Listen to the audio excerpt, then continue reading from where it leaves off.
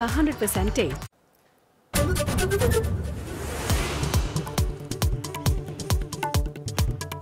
आज पौड़ी दौरे पर जाएँगे सीएम पुष्कर सिंह धामी। कई योजनाओं का करेंगे लोकार्पण और शिलान्यास। जनसभा को भी करेंगे संबोधित। बीजेपी के रोड शो में भी होंगे शामिल।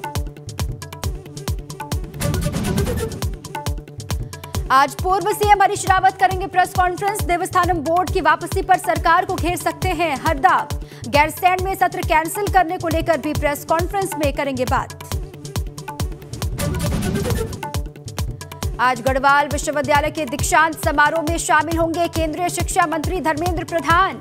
सीडीएस विपिन रावत भी समारोह में करेंगे शिरकत। सुबह 10 बजे शुरू होगा कार्यक्रम।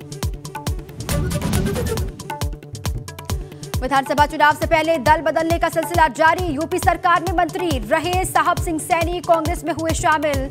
हरीश रावत और गणेश गोदियाल ने दिलाई पार्टी की सदस्यता।